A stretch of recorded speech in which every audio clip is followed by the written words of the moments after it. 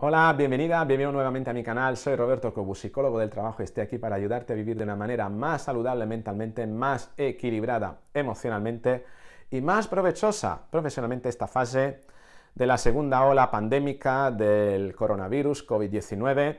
En, otros vídeos anteriores te he hablado de las creencias erróneas que llevan las personas a eh, considerar eh, a defender una vuelta al cole de tipo clásica, ¿no? presencial, eh, para los niños, sin grandes modificaciones, con alguna medida de seguridad. ¿no? Hay 10 creencias erróneas, en otro vídeo te he hablado de 5, este, en este vídeo trato la sexta.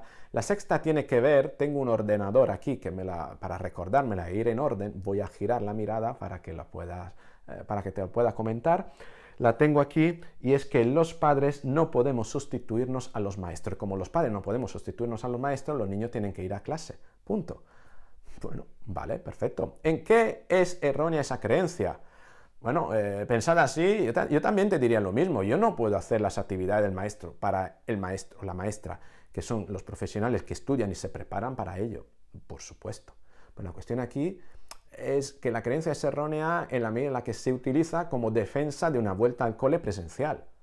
Porque bueno, mm, vale, mm, no te sustituyas a un maestro o una maestra, mm, pero eso no significa que tu hijo puede tener un maestro o una maestra online, por ejemplo, o en semipresencial, o en formato como en México, ¿no? que ve la clase teórica en televisión y su maestro o maestra simplemente le ayuda a comprender y evaluar su, evolución.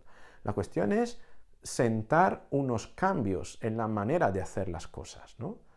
Em, si por decir esto lo que estamos diciendo es que no podemos funcionar de maestro porque tenemos que trabajar mientras, bueno, esta es otra cosa. Entonces mm, te remito a otro vídeo donde trabajaremos esa creencia. ¿no? Pero si es simplemente por una cuestión de competencia, que para eso, para enseñar a los niños están los maestros y que eh, si no van a, la escuela lo estamos desaprovechando, pues señores, yo creo que no es esta la cuestión. La cuestión es que esos maestros tendrán que hacer un esfuerzo extra para acercarse a los alumnos porque estamos en una situación excepcional, ¿vale? Donde lo más seguro es permanecer en casa. Es así.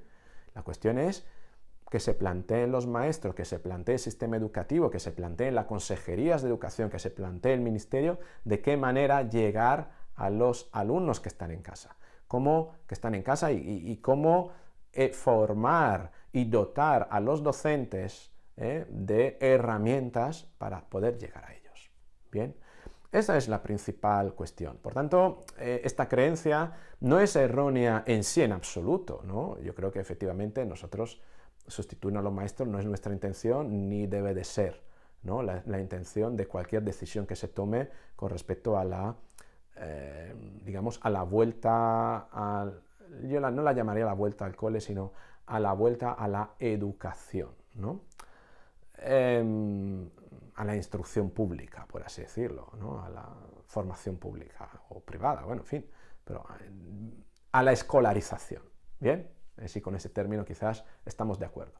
La cuestión es cómo hacer esa escolarización, qué cambiar esa escolarización. Y no se trata solo de cambios estructurales, de, de medida de distancia, etc. Se, mm, tiene que ver también con dotar de alternativas, porque ¿qué vamos a hacer con los niños que están confinados en un determinado momento o tienen que guardar cuarentena? ¿Esto va a pasar una vez? ¿Creemos realmente que esto vaya a pasar una vez? Pasará varias. Lo más probable es que nuestros hijos en este año escolar, si lo enviamos al cole, la mitad del tiempo académico, de septiembre a junio, la mitad estén en casa. Por mm, situaciones que se dan y que hacen que tengan que guardar cuarentena. Por tanto, claro, esa mitad, ¿cómo la colmamos?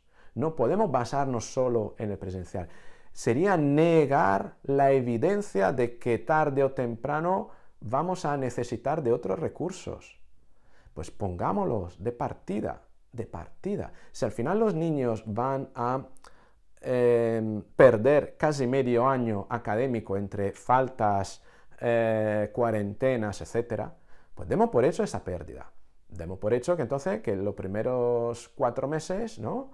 Los niños pues no vayan al cole y preparemos, ¿no? Para el resto de los cuatro meses un sistema, digamos, de aprendizaje más eficiente, más seguro, para que los niños puedan aprender. Si al final, pues medio año está perdido, perdámoslo ya, asumamos esa pérdida para ganarle tiempo a esto. Pero no para estar en casa los docentes, para estar en casa los funcionarios de las consejerías de educación o los políticos, no, sino para trabajar ellos en preparar sistemas seguros, alternativas, eh, em, remotas, ¿no?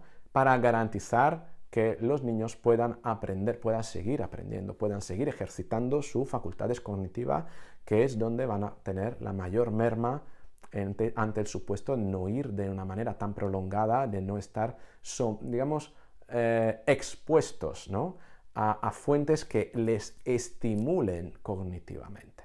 ¿vale? Esa es la real cuestión. Bien, me gustaría saber entonces tú qué opinas al respecto. Te espero en los comentarios de abajo, como siempre. Si este vídeo te ha gustado, te invito a que le des a like. Si crees que puede ayudar a alguien, que lo compartas. Si no estás suscrito o suscrita al canal, que te suscribas porque van a seguir más vídeos. Esta es la sexta creencia. Nos quedan otras cuatro. Hay otras que han salido. La puedes encontrar en mi lista. A lo mejor te sale por aquí o por aquí alguna etiqueta. Bien, em, por tanto, eh, si esto te ha gustado, bueno, te invito a que aproveches los demás vídeos. Con esto es todo. ¿eh? Nos vemos en el próximo. Hasta luego.